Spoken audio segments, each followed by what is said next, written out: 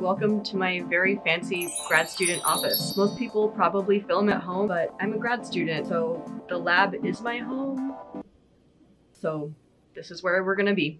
I actually really love my lab. The people that I get to work with are amazing. There's plants all over the place. My mentor slash boss slash professor that I work with is so brilliant and so supportive of me. And my research that I work on is pretty cool. I'm discovering some really sweet things, and that's what I want to share with you today. One of the coolest things about genes is that they're basically the same across all organisms. Let's imagine for a second that all the living things on the planet are made up of blocks.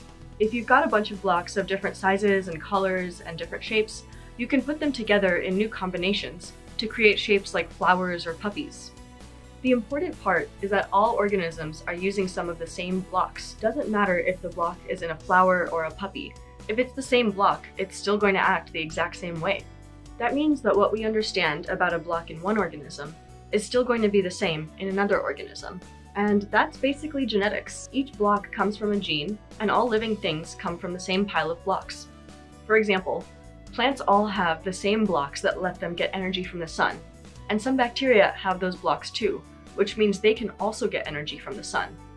I'm especially interested in understanding how things grow and develop. Many living things, like puppies, start off small and then have to develop into an adult. By putting blocks in certain ways, they can unlock what are basically specialized powers.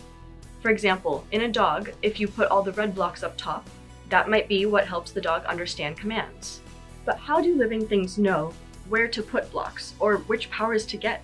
How do animals make sure that taste buds are on our tongue and not on our eyeballs? How do plants make sure that flowers grow on the stems instead of down underneath in the roots? The way living things do this is by controlling their blocks. For example, putting all the red ones up top, or having just a certain number of yellow blocks. To control their blocks, living things can use what are basically specialized genes basically specialized blocks. I'm going to go ahead and just call these control blocks for now. And since blocks are the same across all living organisms, that means that control blocks are also the same across all living organisms. So if a control block in a dog says, put all the red blocks up top, that control block in another organism will still say, put all the red blocks up top. These control blocks are like the blueprints that living things use in order to grow. By not having proper control, there can be any number of issues, leading to disorders or diseases or cancer as well. So it's really important that we understand how these control blocks work. I'm studying a control block in a plant. In plants, normally the tips of roots look like this. I'm studying a plant that's missing just one control block, and without this one control block, it's missing an entire layer on the root.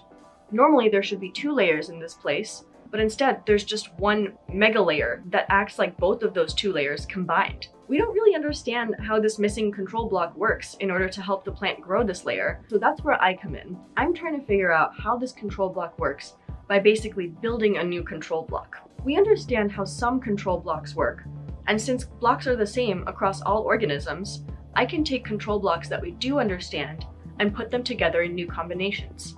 If one of these new combinations acts like the missing control block, then the plant will be able to grow that entire layer back and become whole again. So I'm discovering what these different combinations of control blocks do and how the plant's missing control block helps it to grow that entire layer. We need to understand how these control blocks work for a number of reasons. For example, some people are missing certain blocks, and as a result, medicine doesn't work for them. Sometimes if control blocks aren't being properly controlled, they just don't shut off, and that can lead to things like cancer. There's any number of diseases and problems and issues that can happen if you're not having the proper control blocks. So it's really important that we understand how these work. By studying how control blocks affect the gene blocks in plants, I'm discovering more not just about the genetics of plants, but the genetics of every single living organism. And I think that's pretty neat. I hope that made sense to you. If it did, leave a comment, and if it didn't, please let me know. I'd love to figure out a better way of explaining this so everyone understands. I want to give a huge shout out Julia from Me, My Cells, and I. She made so many of these drawings that I used for this video. Thank you so, so much for those. Thanks for watching.